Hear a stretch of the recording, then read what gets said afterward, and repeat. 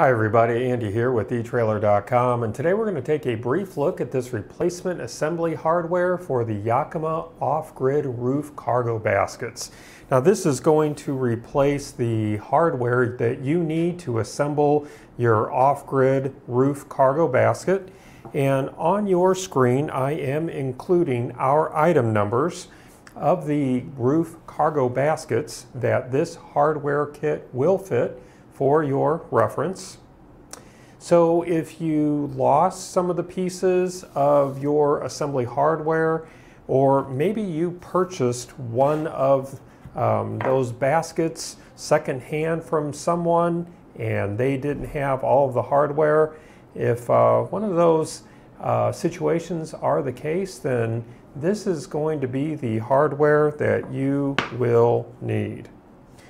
And because this replacement hardware is from Yakima, you can have the confidence that it will fit your off-grid roof cargo basket. Well, that's going to conclude our brief look today. I do hope that it was helpful for you. Again, my name is Andy. Thank you for joining me.